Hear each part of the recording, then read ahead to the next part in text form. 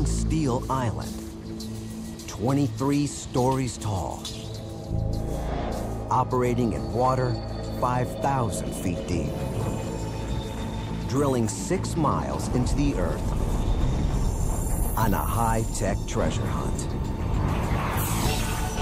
This is the engineering marvel that satisfies the world's thirst for fuel. It's 30 million pounds of men and machine. These men can get hurt every day. This is men versus iron. And iron does not give.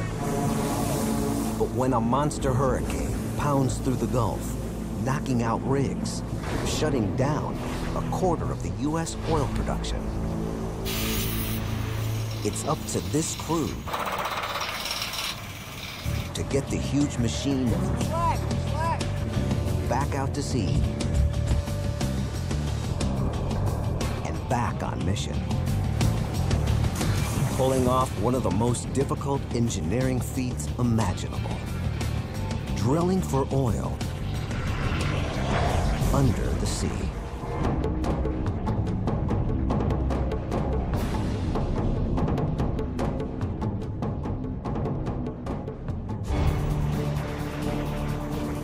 One hundred fifty miles off the Louisiana coast, in water more than a mile deep, a floating factory rises over the Gulf of Mexico. It's a space-age machine engineered to search for treasure 100 million years old. Oil, the black gold that drives the modern world. This super rig, called the EVA 4000, is uniquely designed to find it. One of the largest movable structures the world has ever known. It has to execute a modern miracle. Drilling for oil under the Gulf of Mexico. Much of the world's economy depends on it doing its job. One offshore oil field can pour out 250,000 barrels of crude in a single day. Enough fuel to fill the tanks of 250,000 cars. But that's just a fraction of what the marketplace demands. Every day, around the world, we burn up to 80 million barrels of oil. And unless things change, in the next 50 years, the energy demand is expected to double. There are only 100 deep-sea exploration rigs in existence. It takes four years and $500 million to build a new one. This means the EVA 4000 is in high demand. It's fully outfitted to roam the deep waters, far from shore, in pursuit of black gold. The EVA's deck is the size of 10 basketball courts. Its drilling derrick is 170 feet high, and it floats in a hull capable of keeping all 30 million pounds afloat. The scale of this Goliath boggles the imagination, even today. It would have been inconceivable in the days of the first oil well just 150 years ago. 1859, Titusville, Pennsylvania. The first oil rig in history strikes crude just 69 feet below the surface. From this American strike, the quest for oil spreads to every continent except Antarctica. For decades, wells on dry land satisfy world consumption. But the demand for fuel grows many oil fields are sucked dry. So companies extend their pursuit of crude offshore in oil-rich seas like the Gulf of Mexico. These dots signify the Gulf's oil rigs and platforms. From 1960 to 1990, 4,000 platforms sprout in the shallow waters just off the coast. But demand outstrips these shallow water reserves. Oil companies go farther and deeper offshore.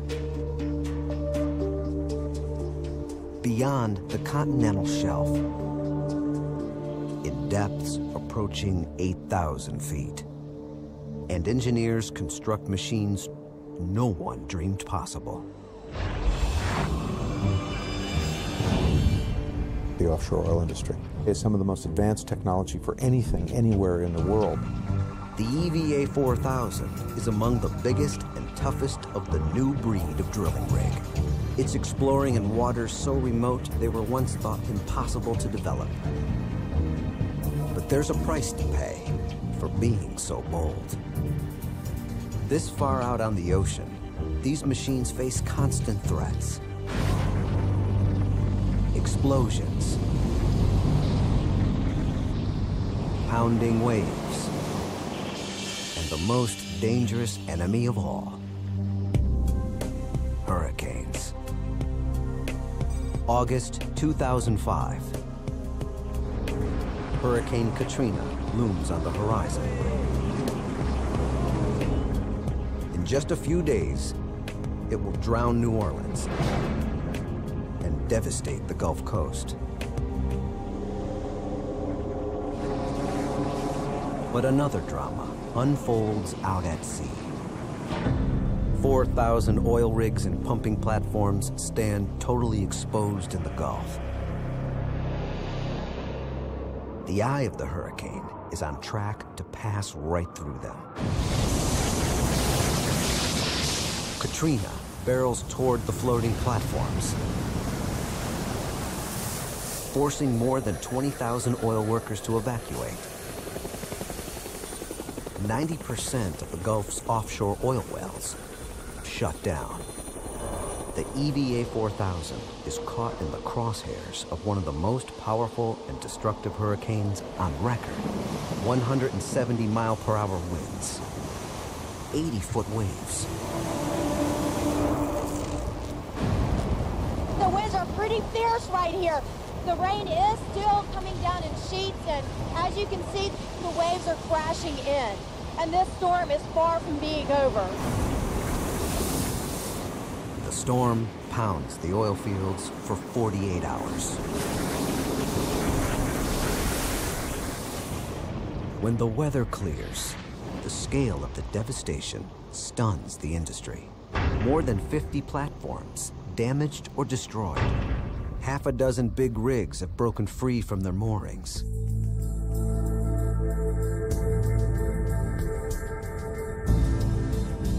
One rig has blown 80 miles toward land.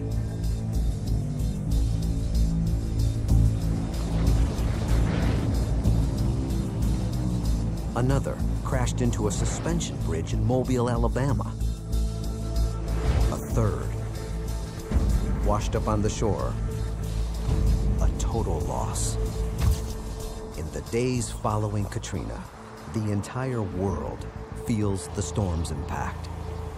We're all in one oil market, and when you have a disruption in the United States, the price of oil goes up instantaneously. You know, Germans were paying more, Japanese were paying more, Chinese were paying more. We all pay the price uh, when there is a crisis in the world oil market. Gas, of course, is a precious commodity right now. There are very few gas stations open, and the lines are tremendous. At U.S. pumps, gas prices shoot up as much as 50 cents a gallon. The EVA 4000 needs to get back on its mission fast. Every day this disruption continues means over a million barrels of oil are not making their way to shore. The repair crews waste no time. They'll work as fast as humanly possible to get this monster back out to the Gulf, where it will have to pull off one of the most astounding engineering feats of the modern world getting oil from miles under the sea. The EVA 4000 drilling rig, damaged by Hurricane Katrina, towers over a Texas shipyard. Every day the half billion dollar giant is shut down means another well not being drilled. And in 24 hours, one oil field can supply the daily needs of 4 million people. The frantic push to get the damaged rig back online begins. Shipyard workers get busy fixing the EVA 4000, one of 20 behemoths damaged by Hurricane Katrina.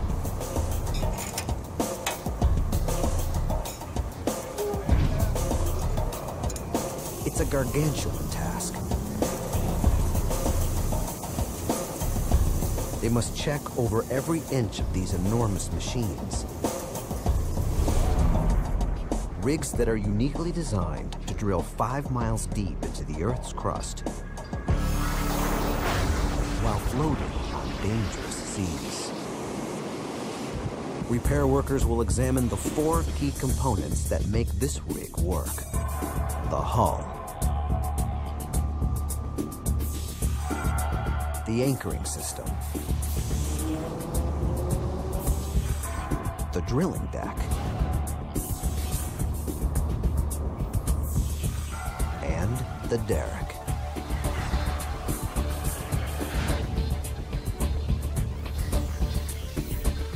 The hull is a pontoon, a kind of steel life preserver. With a 350 foot wide triangular base supporting six large columns. Each section is filled with air to keep the entire 15,000 ton structure afloat.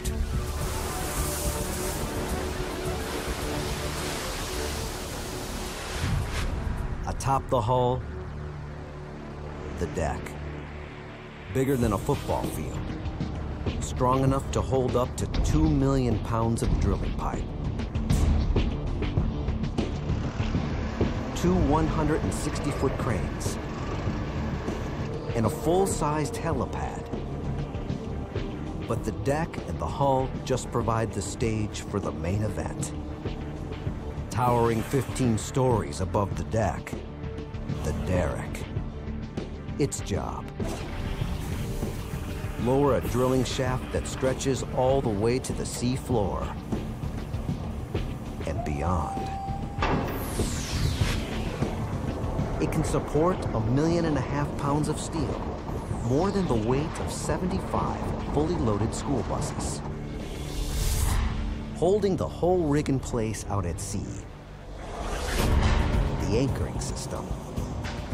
Nine enormous winches three on each corner of the hull. They pull back tight on steel mooring cables, anchored to the ocean floor up to a mile below.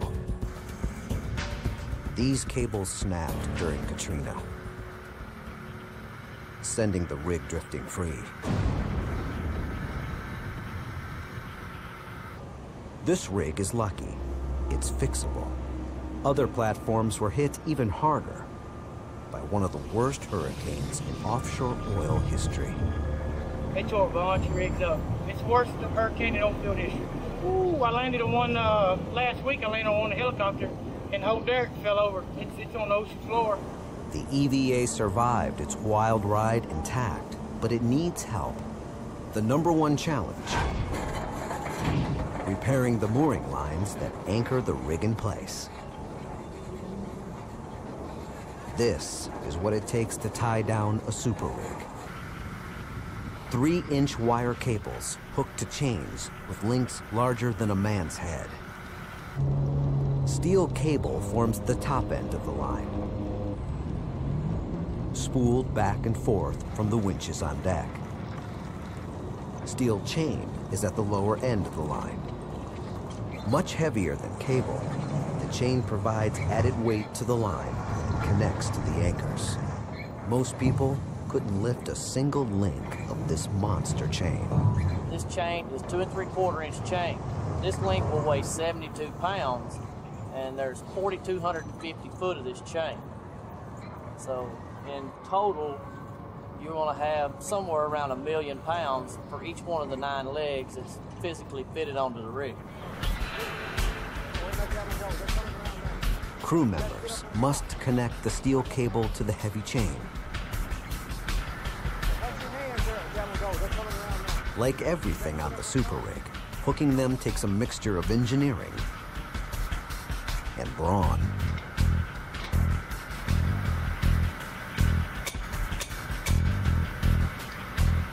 These lines can handle up to a million pounds of tension.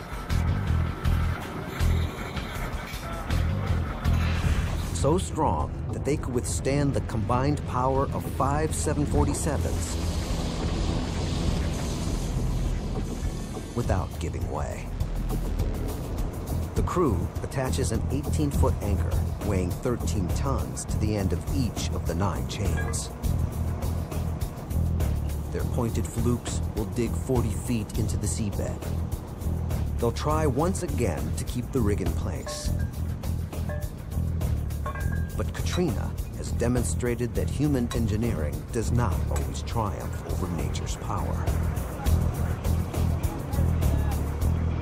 After weeks of hard work, the moorings and the hull are ready for action.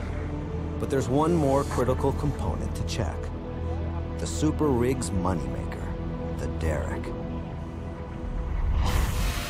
High above the superstructure, iron workers move inch by inch to make sure over 1,000 bolts are tight.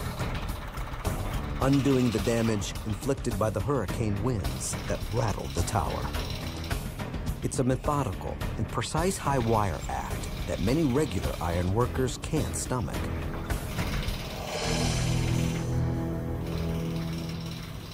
Regular iron workers, they, could, they can't even do it because see the, see the girts are turned sideways like that. You can't, it's not flat, it's hollow. On the derrick, the girder beams are turned sideways to withstand the stress generated within the tower. But a sideways beam leaves an awkward surface for the workers to walk on. A lot of them, like some of the iron workers come try to do it, they can't do it because they can't walk on their beams like that. The workers move up and down the derrick, dangling precariously, tightening bolts as they go. One false move, and they could plunge 170 feet to the deck below. Why ain't this else, huh? With the last bolt tightened, the EVA 4000 is ready to return to its drilling site.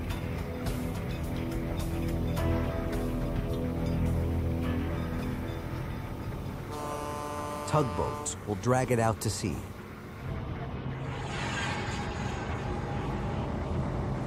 Moving it from the dock is tricky.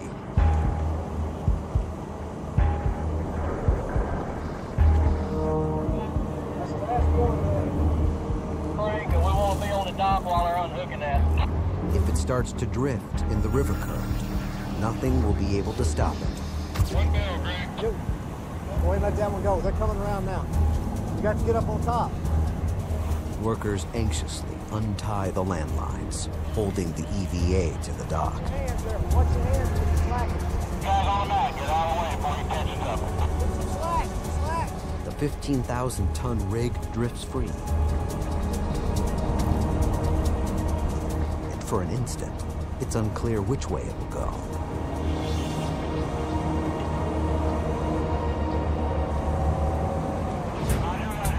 It's like trying to tow a 23 story building. The tugboat engines need all of their 13,500 horsepower to take control of the beast and head for the open seas. With an average speed of under 4 miles per hour, it'll take them five days to deliver the rig to the Gulf's deep water. Our first operation when we get back offshore will be to run the anchors and the chains and then restart our operations that we stopped when we were offshore. This petroleum hunter will need all of its parts working together to accomplish an incredible engineering feat. drilling for oil that could be buried five miles under the sea floor.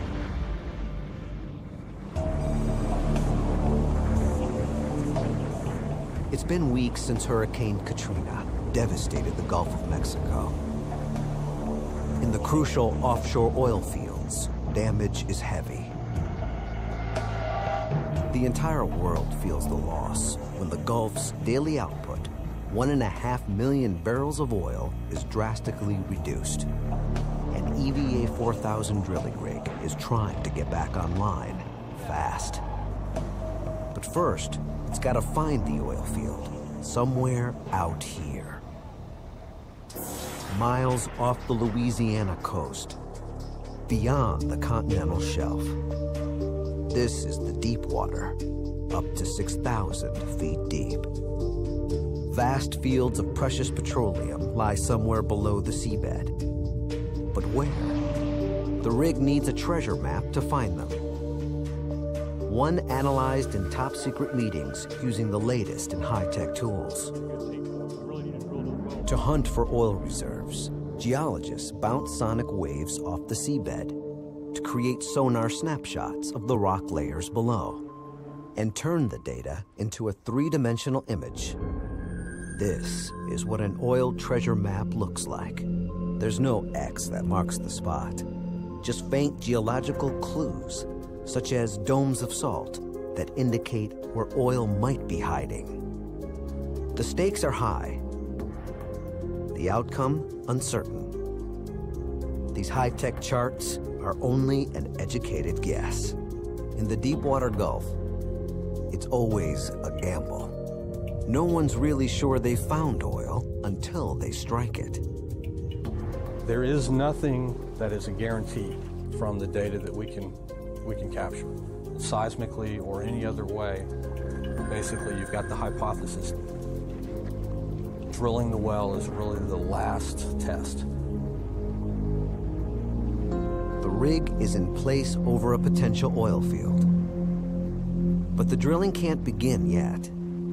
First, the rig has to be tied to the seabed by nine enormous anchors.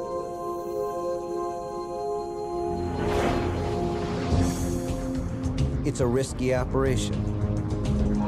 When you're working with machines this big in waters this deep, nothing's easy and everything's dangerous. These men can get hurt every day because this is still men versus iron.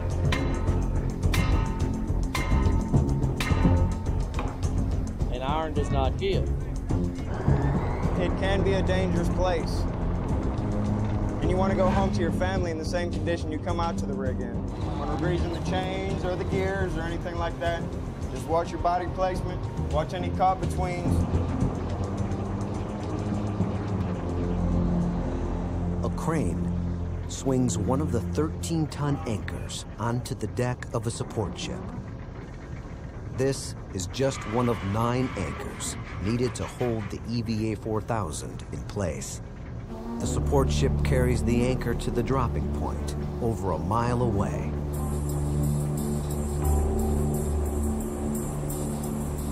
Hey, tell me when it starts rolling. I'll start out slow and I'll bring up speed. Uh, all right, coming in. Just the anchor line alone weighs more than 450,000 pounds.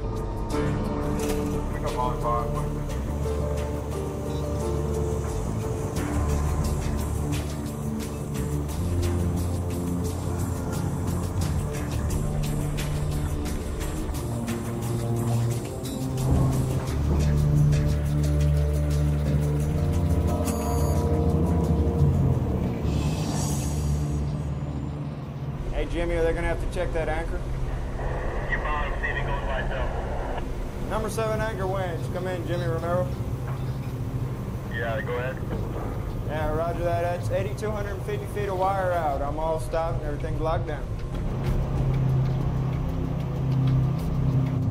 The 240 ton cable must drag the anchor from the deck of the ship.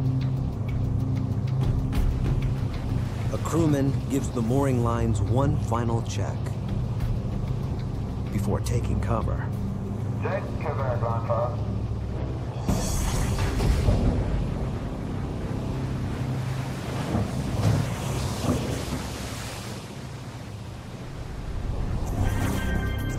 It'll take 15 minutes for the anchor to hit the bottom, nearly a mile below.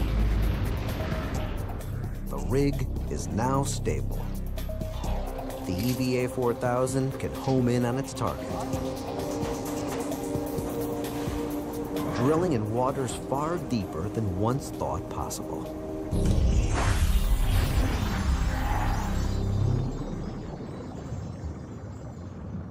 Used to be when I first started, deep water was 2,000 foot.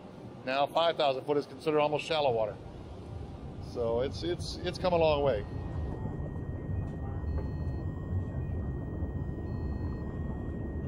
This is a work environment more inhospitable than outer space. Far too deep for humans. The record depth for a scuba diver is just over a thousand feet. The EVA 4000 works in seas five times deeper. Down this far, the pressure would kill a human,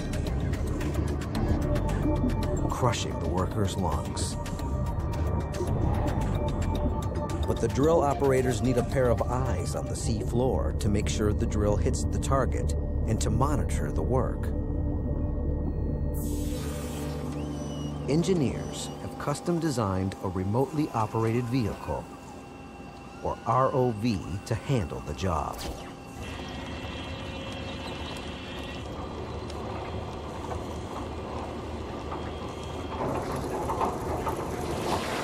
It's capable of enduring forces pressing down at over 2,000 pounds per square inch. Undersea robot built to go where no human could survive. Used to be divers did all the work. If you lose an ROV, you know, for whatever reason, it's a machine. It's a workhorse. You know, it, it it's not like losing a life. They're much better than, than a, a diver. The ROV will be the eyes and hands of the crew working far above in the control room. An onboard video camera relays images from the cold, murky depths. The ROV moves into position. Everything's in place. The drilling can begin. All right, let's go to work. The drill bit leads the way. The crew must piece the drill together section by section. A forest of iron pipe stands ready near the central hole. Each section towers 93 feet high, dwarfing the workers below. In mile deep water, it would take 40 pieces of this pipe, screwed end to end, just to reach the seafloor. This rig is designed to string together a maximum of 300 sections, six miles into the Earth's crust. At first, the work goes rapidly. In a single hour, the EVA 4000 sinks over 2,000 feet of pipe. In less than three hours, the drill bit will hover just above its target. Geologists picked this spot using 3D imagery based on sonar data. Their hunch is right. Oil should be directly below. 30,000 feet below. Now, it's up to the drill. Its job, dig a hole as deep as Mount Everest is high.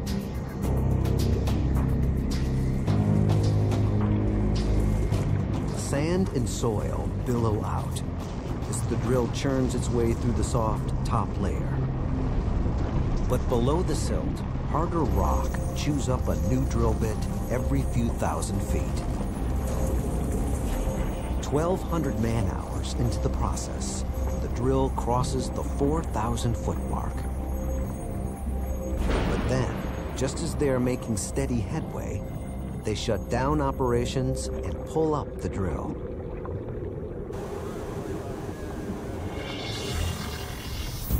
If the drill were to strike oil now, petroleum will spew into the ocean.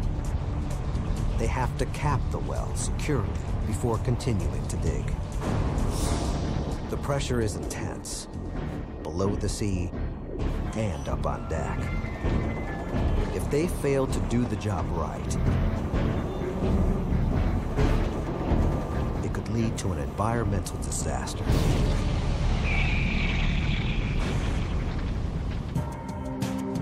It's been weeks since Hurricane Katrina devastated oil production in the Gulf of Mexico. The oil crisis continues to heat up. Prices around the world have soared to record highs. And the U.S. government takes a drastic step, dipping into its strategic petroleum reserve to stabilize the supply. The eyes of the world's oil markets are on the Gulf of Mexico, waiting to see when the rigs will come back online. The EVA 4000 is still 26,000 feet short of its goal. Out in the Gulf, the men work day and night, but doing the job right takes time. And they are about to put into place the biggest and heaviest part of the puzzle, the blowout preventer.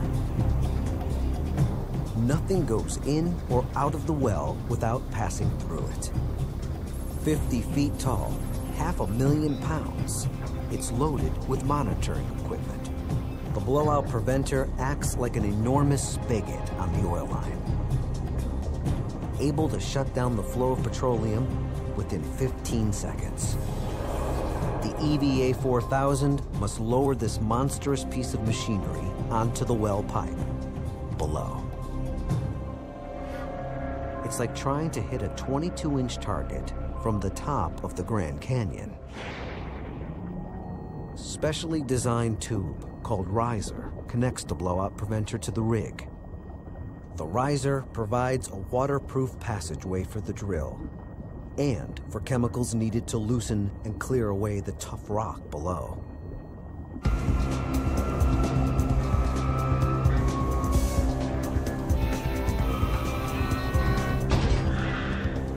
This much riser hooked to the blowout preventer weighs over 2 million pounds.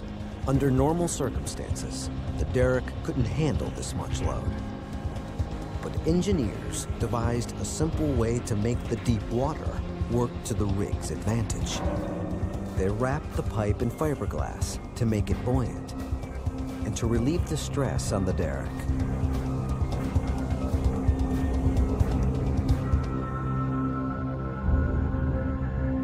In just 24 hours, the blowout preventer nears its mark.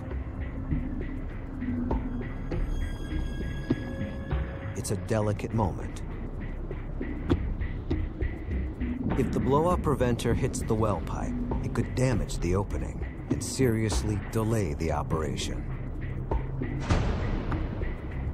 The riser fights the deep sea currents. The entire rig shifts its position, inch by inch, to find the right spot below.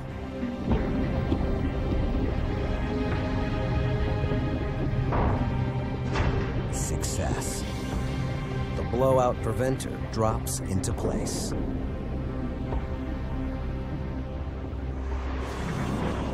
Now, the drill can continue digging. All the effort and technology has led to this moment. Sketching the treasure map. Setting the anchors. Working the drill for 17,000 man-hours. Until now, no one was sure whether anything was actually down here. The drill doesn't stop. 10,000 feet. 20,000 feet, 30,000 feet below the seafloor. Oil.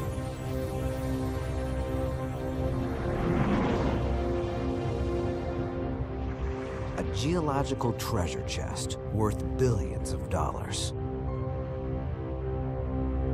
The passageway is now clear. All the work has finally paid off.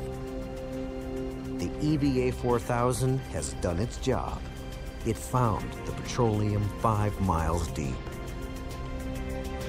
But a drilling rig only drills. It doesn't process the oil. The EVA 4000 will move on to a different location in search of a new oil field.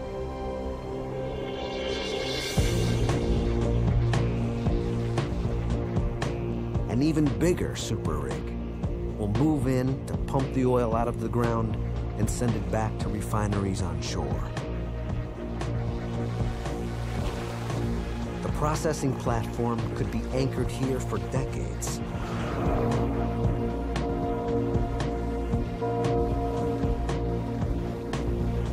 Staying in one place, no matter what the Gulf sends its way.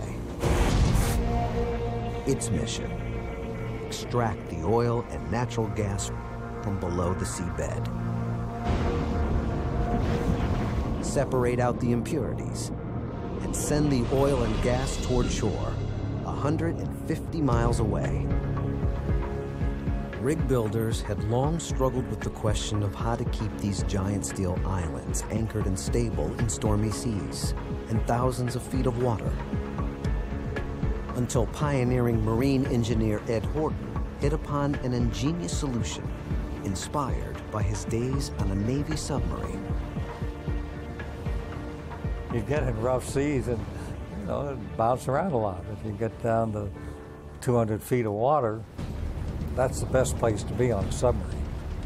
Is under the water, not on the surface. Horton's brainchild was the spar, a massive cylindrical hull hundreds of feet long. The spar works because in the deep ocean, waves become smaller and smaller the deeper below the surface you go. A wave that's 25 feet on the surface may measure only two and a half feet, 600 feet below. The spar floats far below the surface, most of its mass in contact only with these smaller deep water waves, keeping it stable even in rough seas. 1996, the Gulf of Mexico. A ship tows the Neptune platform into water nearly 2,000 feet deep. Crews fill the Neptune with seawater to make it heavy enough to tip. The spar design is brilliant in theory, but no one knows if this 12,000 ton cylinder will really work. After 10 years of design and construction, it takes all of 72 seconds to tip Neptune's 700 foot cylinder upright. It's one of the grandest engineering experiments the world has ever seen.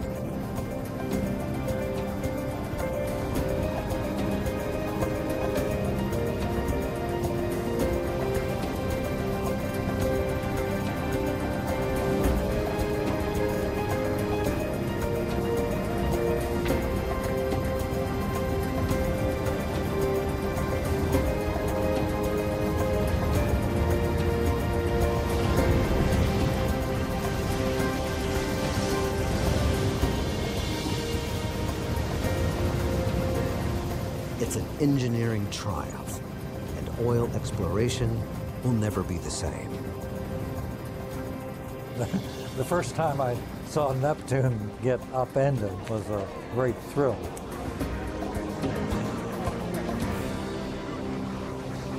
Neptune's success marks a new era for deep water platforms. Soon companies are moving into even deeper water, building even bigger platforms that demand a new generation of spars. This is the state-of-the-art Gunnison platform, built to work in over 3,000 feet of water. The Gunnison will rest on a new generation of spar, the truss spar. Earlier spars had solid hulls. The new hull is solid for only about half its length. Its lower section is an open lattice structure with three horizontal plates. These plates trap water between them, creating a massive liquid cylinder that helps stabilize the structure. Its ingenious design allows less steel to hold up more weight.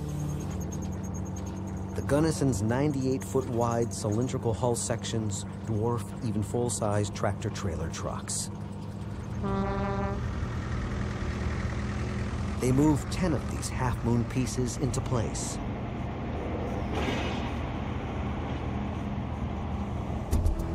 Huge tugboats pull the assembled Gunnison out into the well site. The spar floats over the spot where the drilling rig sunk the well. Workers flood it with water, and the Gunnison begins its plunge into the deep. After 23 hours, 14,000 tons of steel upends, perfectly stable. The spar extends 550 feet, about the length of the Washington Monument. The next challenge is keeping the spar in place. This platform must resist the forces of the Gulf for decades. Anchors like those used on the EVA 4000 won't work here. These spars will need something stronger. Specially made steel pilings designed to thrust deep into the sea floor. Footage markers indicate their full height, 220 feet. Engineers use these to regulate the depth of the pilings in the seabed. A support vessel lowers them into the Gulf waters.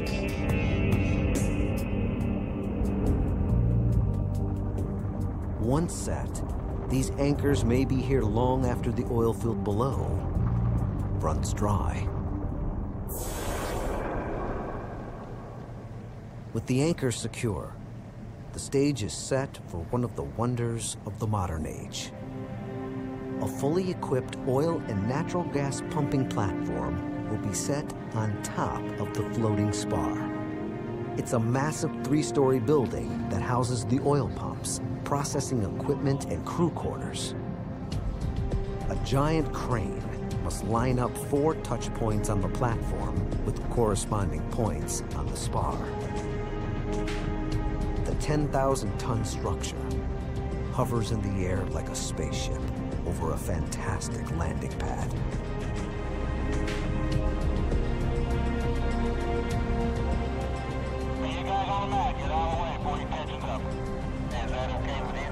Platform and spar pop into place like oversized toys.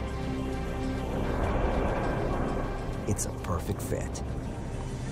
The futuristic floating city is complete. This platform will pump and process up to 40,000 barrels of oil and 200 million cubic feet of natural gas every 24 hours. That's about $4 million of product every day from a single platform. The Gunnison requires only 24 workers to monitor the process round the clock. Machines do almost all the work. They extract crude oil from the rock and separate out the natural gas. The excess gas is burned. For 100 million years, this oil lay hidden, beyond the reach of man. Now, 21st century technology sends it hurtling towards civilization. Vast network of pipes on the seafloor carry the oil to refinery centers on the Gulf Coast. When it works right, it's routine and safe But disaster can strike in the blink of an eye. And these super rigs can explode into deadly infernos. One of the most spectacular accidents in oil industry history showed just how vulnerable the world's biggest rig could be. March 2000. In the new age of deep water oil rigs, the Brazilian government launches the biggest ever. It's called the Petrobras P-36 platform. Once in place, it will pump 180,000 barrels a day work in water over 4,400 feet deep. But in less than a year, this platform will become the Titanic of oil rigs. March 15, 2001, 12:20 a.m. Natural gas leaking from a valve collects in one of the support columns. Alarms ring out as the odorless, invisible gas spreads further through the hull. And then, a spark ignites the trapped gas in a series of enormous explosions.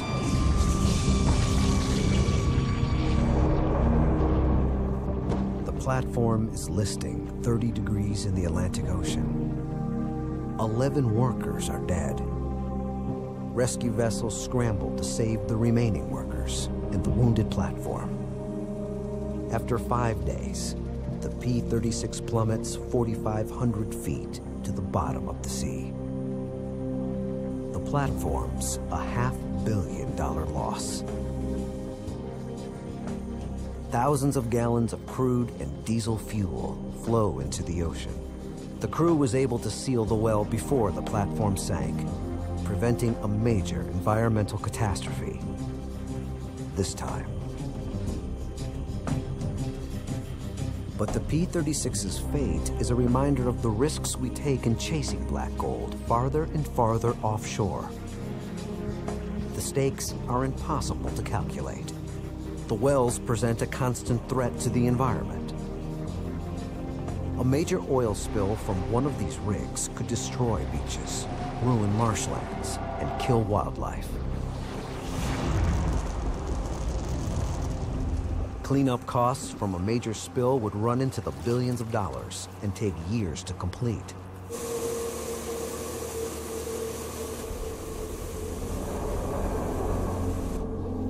Safety measures, technology, and training can minimize the risk of human error. But there are some factors beyond our control. Like where the oil reserves are located in increasingly remote and dangerous places.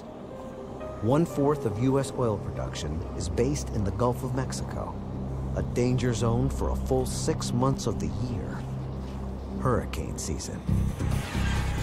Three weeks after Katrina, many oil platforms have gotten the oil flowing. But on the horizon lurks another storm, and the oil rigs are at risk once again. The EVA 4000 is drilling for oil over 100 miles out to sea when Hurricane Rita pounds its way out of the Caribbean. It's the most powerful hurricane ever recorded in the Gulf of Mexico.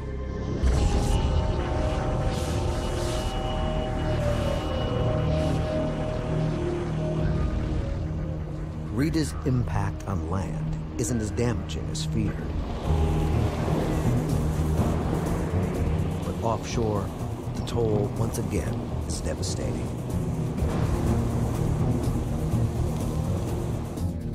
The storm tracks just far enough to the west to plow right through areas spared by Katrina. It's a one-two punch, making this the worst hurricane season in U.S. oil history.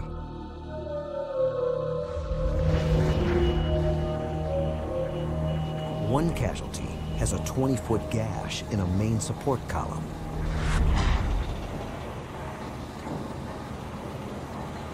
I knew what this rig was capable of, and when I came down here into the column and I saw this hole, I was I was just stunned at the magnitude of the damage.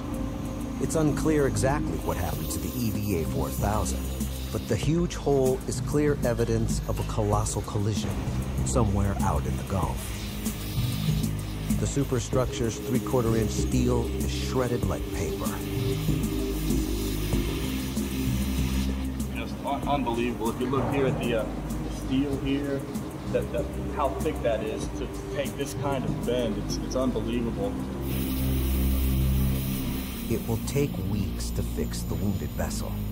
but it survived the worst the Gulf has to offer so far. The toll for this one hurricane season 115 platforms destroyed, 52 damaged.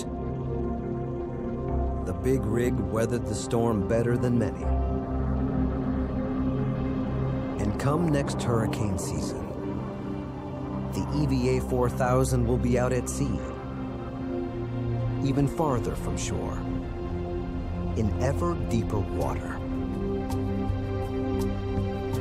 pushing the boundary of what is physically possible, chasing oil to the ends of the earth.